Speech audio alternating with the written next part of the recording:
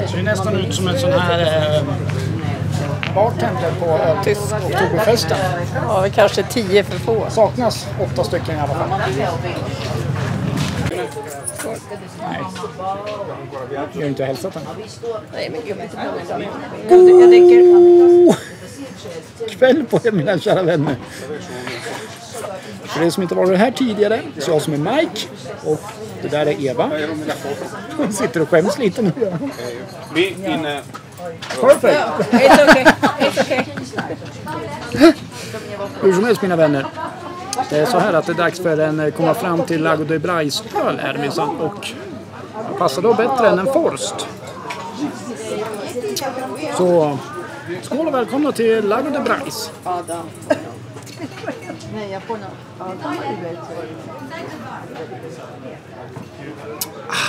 Gött hörni. Ska visa er runt lite senare här ska jag göra men eh, det är så mycket turister än så länge. Och, Och vad tycker vi om turister? nej, det vill vi inte ha med om. va? Och Eva sitter och skäms lite nu för att jag hälsade på er men så kan det vara ibland. Men eh, ja, vi hörs lite senare hörni. Eh, Mr Dicky. Han tyckte det var kul. Det tror jag han tror.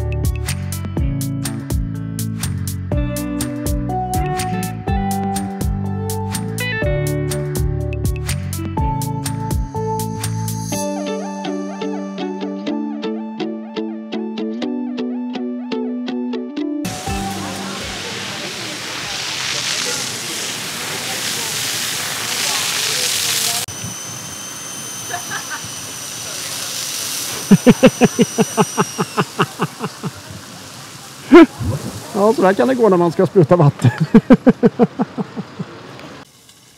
ja, jag tror att det är i alla fall semesterns magnifikaste grillutsikt i alla fall det här. Sitter och brassar på lite middag på grillen och skådar ut över molnen som sänker sig ner över berget som jag inte vet vad det heter men det heter säkert någonting väldigt fascinabelt. La Montagna heter det idag i alla fall så att vi fortsätter sitta och grilla lite hörni så att det här ser riktigt jäkla gött ut. Fränt att se. Spara in det här bara.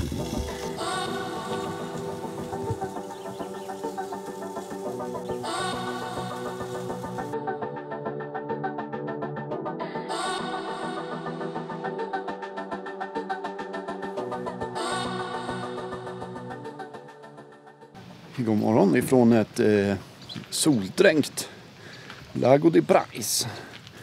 Och ja, mysigt litet ställe faktiskt. Vi har varit här förut och man står fint och dock så finns det ett par saker man måste tänka på naturligtvis.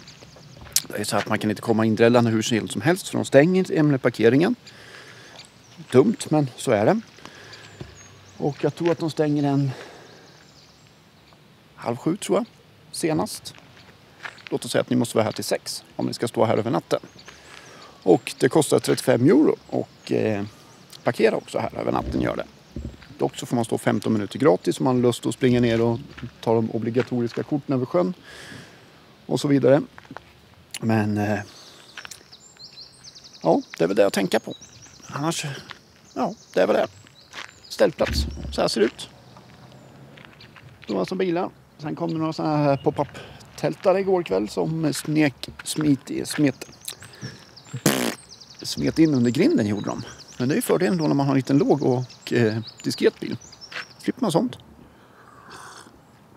Man har också en restaurang och en liten bar tror jag det är man har.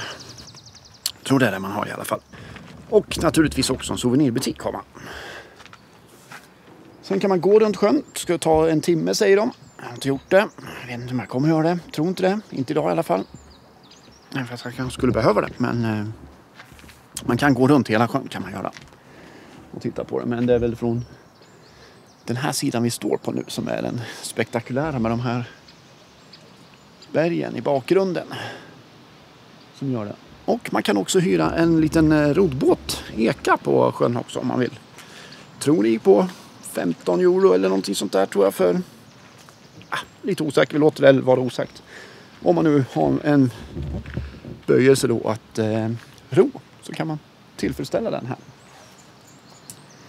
Dock att bada i sjön, ingenting jag har gjort. Jag har nog aldrig sett någon göra det heller faktiskt. Men eh, det är kallt som satan. Är det. det är redigt jävla kallt i sjön. Är det. Och eh, nej, vi ska väl ta och eh, se lite mera berg idag tänkte vi. Så att vi tar väl och eh, drar vidare alldeles strax. Här. Ska få ge oss lite kaffe först bara. Och är eh, parkeringschefen runt och kontrollerar att vi har skött oss i natt. Jajamän.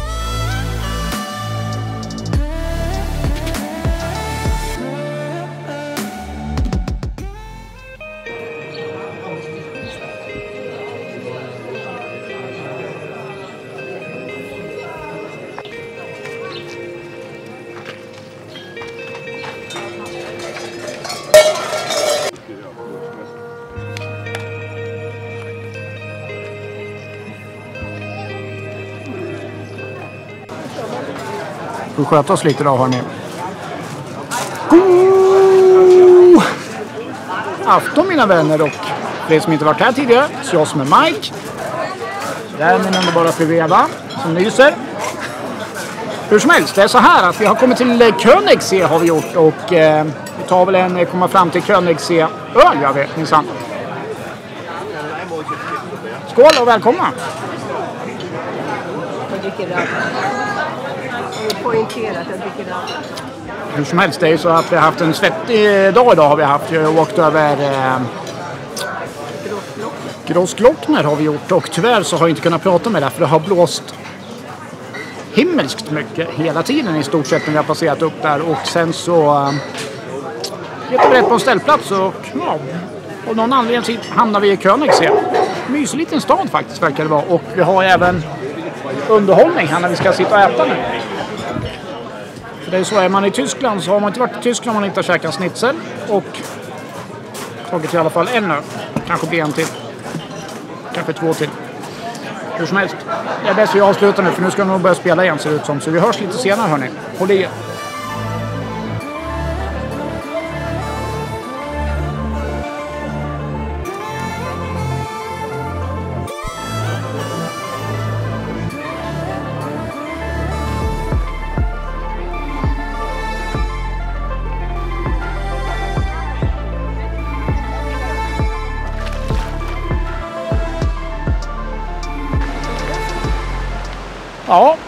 Proppmätta.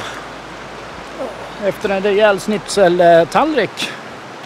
Snygg i håret idag bjuder vi på. Hur som helst, vi står på en liten enkel ställplats gör vi här borta på ja, precis i utkanten på Königssee.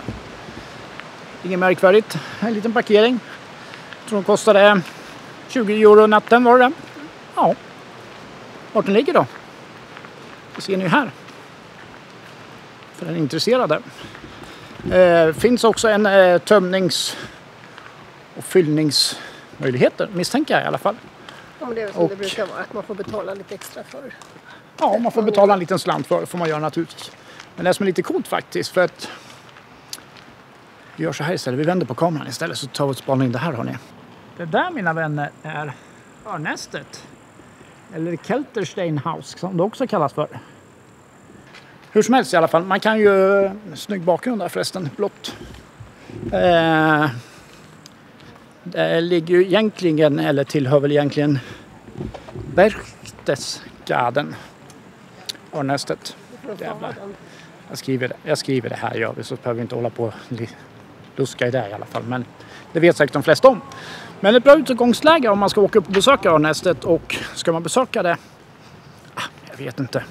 Jag har varit där. Jag tyckte det var ganska överreklamerat. Man åker upp till ett tomt hus. Utsikten är naturligtvis magnifik. Och man har inte varit där om man inte ätit snitsen heller hörni.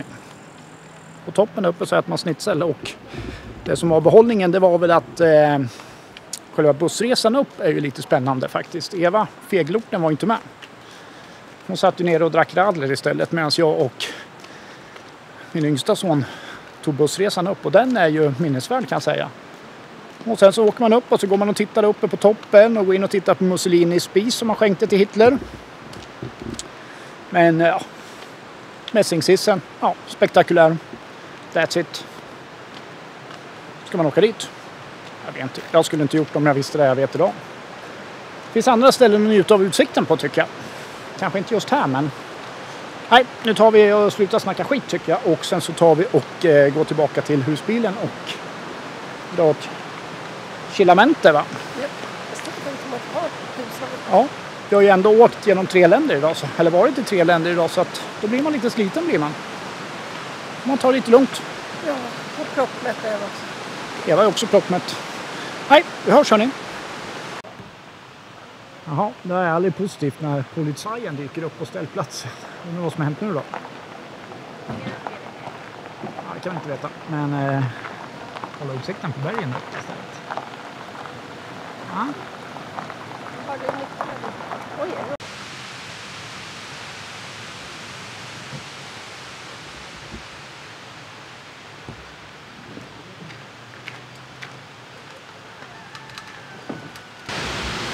Och eh, ska man som sagt var gå in till stan så kan man gå upp, ja, rakt upp från ställplatsen så kommer man rätt in till stan. Man går ut med en liten flod heter det kanske i Tyskland. Å säger vi i Sverige. Som leder upp till eh, själva Königssee. Som är både sjön och stan. Mm, mm-hmm. ja, mysig liten stad faktiskt. Men ja, man får inte lägga mer än en dag här. Det räcker med en kväll i slutet tror jag. Tror om inte vi har missat någonting väldigt väsentligt då förstås. Men så kan det vara ibland. God morgon ifrån eh, ställplatsen kan man väl säga. Kanske parkeringsplats med övernattningsmöjlighet här från Königs i alla fall. Vi har sovit rätt så hyggligt har vi väl gjort, eller i alla fall ja, en stund. Eh, Det var ett jävla tjattrande på ett gäng som satt bredvid oss tyvärr. Och som ni ser en ganska skön ställplats det här att man kör in och parkerar lite som man vill eller så man får plats helt enkelt. Och det är husvagnar och det är taktältare och det är hemmabyggda vans och det är stora fina husbilar här. Och eh, ja, lite skönt faktiskt.